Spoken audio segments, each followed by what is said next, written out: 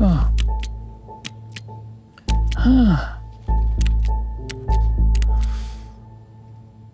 Ah. Ah.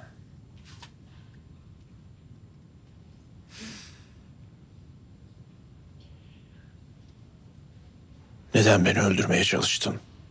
Seni öldürmeye çalışmadım ki. Tabanca falan oyuncaktı o zaman, he? Sivrisinek ısırığına benziyor mu? Seni öldürsem her şey sona ererdi. Ama ben yaşamanı istedim. Çünkü acı çekerek inlediğini görmek istiyorum. Ha.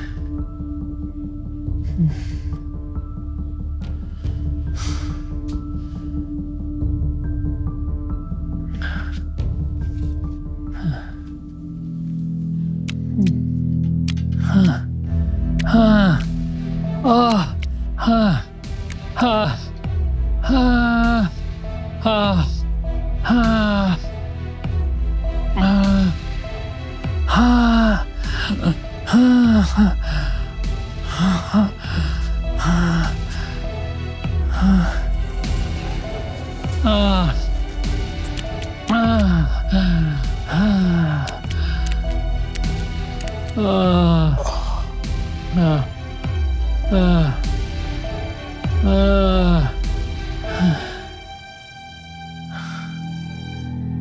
Ah. ah. ah. ah.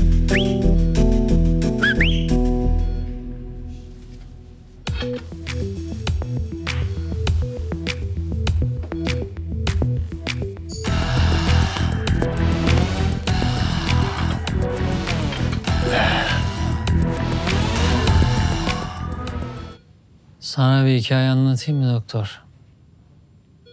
Anlatma. Beni vuran insanların hikayelerini dinlemiyorum. Karım hastaydı. Gitmediğimiz doktor kalmadı. Ama hiçbiri nesi olduğunu bulamadı. Anladım, anladım. Karın öldü. Sen perişan oldun, sonra gideyim doktorlarından birini vurayım dedin. Ha? Hayır. Karım yaşadı. Onu sen iyileştirdin. Kusura bakmıyorsun değil mi iyileştirdiğim için? Tutamıyorum kendimi. Önüme geleni iyileştiriyorum. Karımın hastalığını araştırırken hayatımızda olan biten her şeyi öğrenmek istedin. En küçük detayın bile önemli olduğuna beni ikna ettin. Bana gerçekler lazım. Gibi afilli laflar. Sana inandım. Gizli bir ilişkim olduğunu itiraf ettim. Sen de gittin bunu karıma söyledin. Sonra da genetik yatkınlığı yüzünden beyin kanaması geçirdiği teşhisini koydun. Meğer benim gizli ilişkimin karımın hastalığıyla hiçbir ilgisi yokmuş. Niye söyledin bunu karıma? Niye yaptın bunu? Bir halt yedin. Karın seni terk etti. Benimle bir alakası yok. Bunun bedelini ben ödemek zorunda değilim. İntihar etti.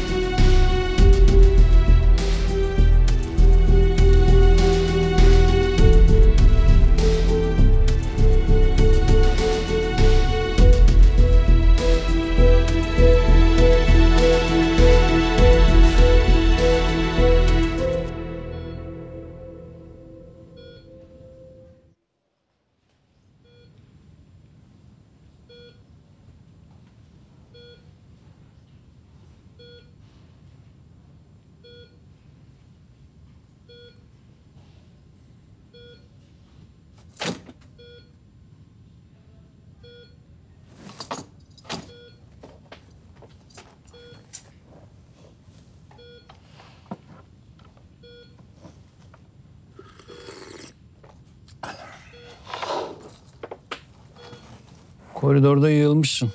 Dikişlerin patlamış. Hadi be. Nereden duydun? Karnın hala ağrıyor mu?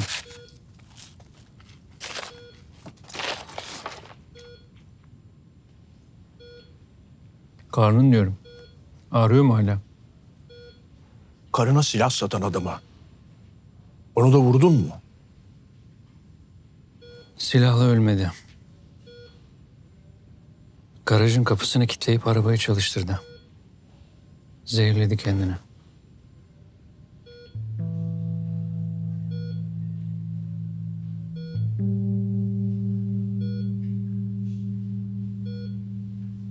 Arabayı satan adamı vurabilirdin. Benzinciyi vurabilirsin. Garaj kapısını satan adamı vurabilirsin. Hı? Vurmak istedikten sonra. Uzun bir liste yaptım. Kağıdın üstüne parmağımı koydum. Sen çıktın oldu mu? Beni vurmam.